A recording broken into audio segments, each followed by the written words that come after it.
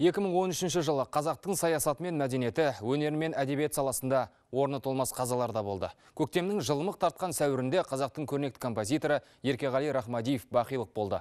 Күрең басында қабырғал қаламгер Дүкенбай Досжан өмірден озды. Артынша халық қаһарманы Сағадат Нұрмағанбетов қайтыс болды.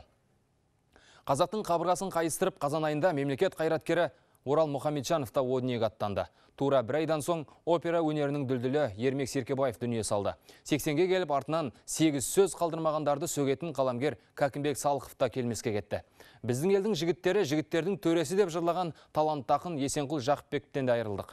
Анасы бар адамдар ешқашан қартаймайды деп әнге қосқан Жаны Жайсаң Қайрат Жұмағалиевті көз жұмды осайда. Артынша қазақ операсының сандуғашы Роза Жаманова да мәңгілік сапарға аттанды. Олар жүрегімізде мәңгілікке сақталмақ.